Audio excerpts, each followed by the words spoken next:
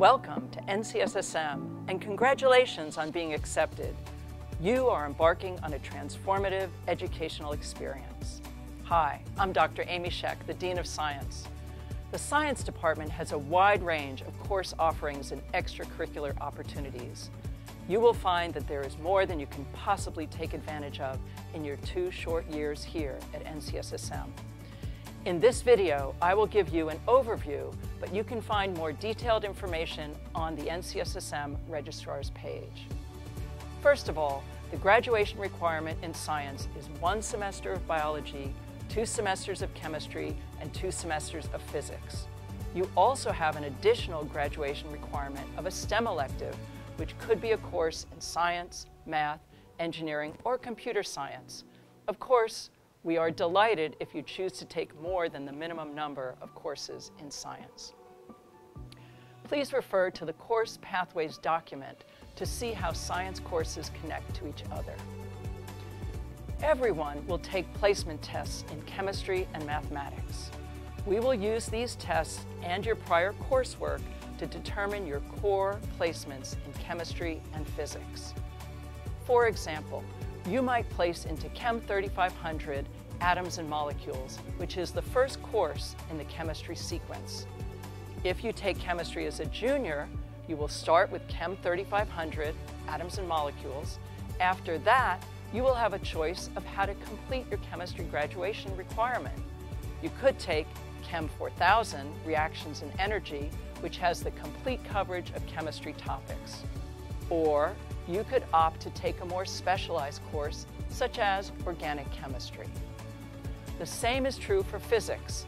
If you are placed into Physics 3500 Mechanics, after you complete that semester, you may take Physics 4000 Electricity and Magnetism, or a more specialized course such as Waves and Optics.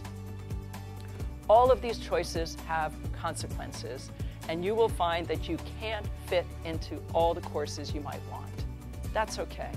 What we want to do is prepare you for college and position you to take college courses in your field of interest. But it is worth your time to do some advanced planning. I advise you to use the worksheet we provide at Welcome Day to sketch out several coursework scenarios for your time at NCSSM. Another word about placement. Your chemistry and physics placements are determined by your 10th grade status. These are our recommendations for what is appropriate for you as a junior at NCSSM. Let's say you're placed in Physics 3500, but you take physics in your senior year. You have the option to request the next highest level, Physics 4020, as a senior.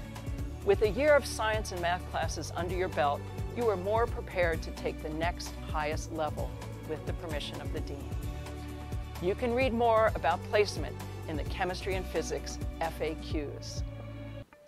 Let's say you've already had a class in physics, chemistry, or biology. You might qualify for an exemption.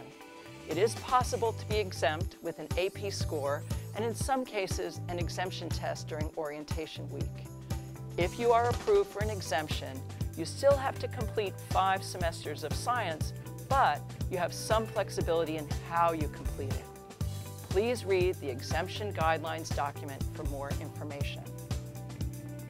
Aside from reading the documents on the registrar's page, there are some deadlines for you to be aware of. All the deadlines for academic programs have been compiled into one convenient pre-flight task list.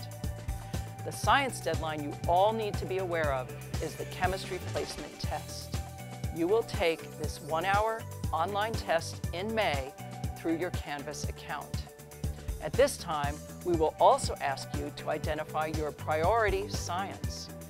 Priority science is the subject you are most interested in and would like to start taking in your junior year. Think carefully about this and look ahead to the prerequisites. If you want to take an advanced course in your senior year, you will need to complete the prerequisites in your junior year. You can only prioritize one science course, biology, chemistry, or physics, and you cannot change it once you have made the choice.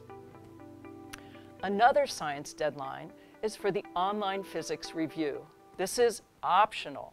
Only students who have had a previous physics class and want to qualify to take AP Physics C for their graduation requirement should do this. Registration is due in the first week of May. The review course must be completed by the end of May.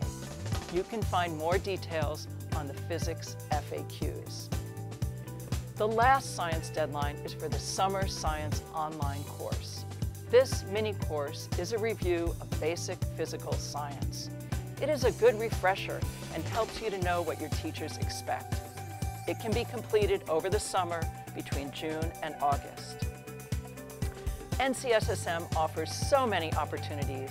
I know that it is hard to absorb all of this information at once. We encourage your questions on Welcome Day, and we look forward to having you drop in at our Zoom information sessions prior to course requests. Please be reassured that no matter what pathway you take during your time at NCSSM, it will be the living and learning experience of a lifetime.